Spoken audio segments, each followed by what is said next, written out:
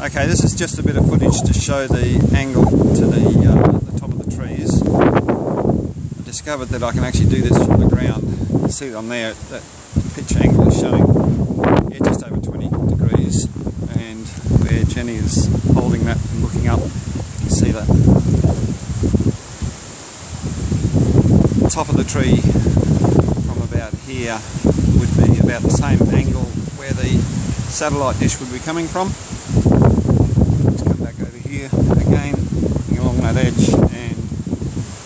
on the screen.